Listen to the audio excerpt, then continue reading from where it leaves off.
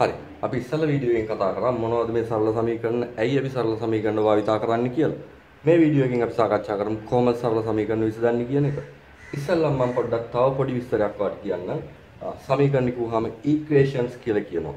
මෙන්න මේ සමීකරණයක තියෙන ලකුණ මේ ලකුණ සමාන ලකුණ ආ දන්නවා equation mark එක. මොකද්ද මෙන්න මේකේ අදහස කියලා අපි කතා කරමු. සමානයි සමානතාවක් කියලා කිව්වහම විවිධ පැති වලින් අපිට සමානතාවක් කතා කරන්න පුළුවන්. උසෙන් සමාන වෙන්න පුළුවන්, බරෙන් සමාන වෙන්න පුළුවන්, විවිධ දේවල් වලින් සමාන වෙන්න පුළුවන්. මොකද්ද මේ සමීකරණයක මේ සමාන ලකුණෙන් කතා කරන සමානතාව?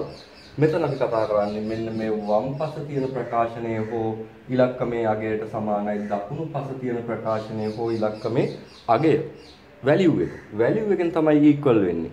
හරි. ආ එහෙනම් සමීකරණය විසඳනවා කියලා කියන්නේ solutions කියලා කියන්නේ කොහොමද? ආ මෙතන තියෙන්නේ අඥාතයේ x නම් ඔයා අගේ නොදන්නා පදේ x නම් යටින් මේක විසඳලා x සමානයි කියලා මෙන්න මේ වගේ උත්තරයක් ගන්න එකට තමයි මේ සමීකරණයේ විසඳුම විසඳනවා කියලා කියන්නේ. ආ එතකොට මම මෙන්න මෙහෙම කියන්නම්කෝ ඔයාට හිතන්න පුළුවන් මේක ගේම් එකක් කියලා. ඔයා chess එහෙම දන්න කෙනෙක් නම් ඔයා දන්නවා chess වල තියෙන්නේ king වගේ හිල්ල හිට කර කොටු කරන්න ඕන එක තැනකට එයාට මූවමන්ට්ස් ගන්න බැරි වෙන්න. මූවමන්ට්ස් කොහෙටවත් යන්න බැරි වෙන්න කොටු කරන්න ඕනේ. ආ මේකත් මෙහෙම හිතන්නකෝ මේ තැන් කිහිපයක ඉන්න x නැත්තම් මේ 2ix 3ix x වර්ග යන ආදි වශයෙන් විවිධ ස්වරූපවල ඉන්න x එක් පැත්තකට ගෙනල්ලා මෙන්න මෙහෙම කොටු කරන එක තමයි ඔය සමීකරණ විසඳුවා කියලා කියන්නේ. ආ එහෙම කරන්න සමීකරණ වල නීති ටිකක් තියෙනවා. එතකොට ඒ වැඩේ කරන්න දැන් මෙතන තැන් දෙකක හිටියේ x මෙන්න එක තැනකට ඇවිල්ලා. මේ x ගේ සංගුණයක x ගුණ වෙලා ඉන්නේ මෙතන දෙකෙන් දෙකක් හිටපු x මෙතන තනි වෙලා. මෙන්න මේ දේවල් කරන්න ඔයාට පුළුවන් සමීකරණයේ පද එහාට මෙහාට වම් පස පද දකුණු පැත්තට පැත්තට ගෙනියන්න පුළුවන් දකුණු පස පද වම් පැත්තට ගෙනියන්න පුළුවන් සමීකරණය යම් සංඛ්‍යාවකින් බෙදන්න ಗುಣ කරන්න මේ දේවල් කරන්න පුළුවන්. හැබැයි ඔයා මතක තියාගන්න ඕනේ සමීකරණයක් කියලා කිව්වහම මෙන්න මෙහෙම ඔයාලට හිතන්න පුළුවන්. මේ ඉස්සර භාවිතා කරපු තරාදියක් ආශ්‍රයෙන් මම කතා කළොත් තරාදියක් ආශ්‍රයෙන් මම ඔයාලට මේක විස්තර කරලා දුන්නොත් අපිට මෙන්න මෙහෙම කියන්න පුළුවන්. මොකද්ද? මේ සමී මේ තරාදිය කියන්නේ මේ තරාදිය කියන්නේ මේ පැත්තේ තියෙනවා මේ පැත්තේ තියෙනවා දාලා සීනි කිලෝ එකක් දාලා තියෙනවා. මේ පැත්තේ දාලා තියෙනවා පඩි දෙකක් දාලා තියෙනවා. ග්‍රෑම් 500 පඩි දෙකක් දාලා තියෙනවා. ග්‍රෑම් 500 පඩි දෙකක් මේ පැත්තේ දාලා තියෙනවා.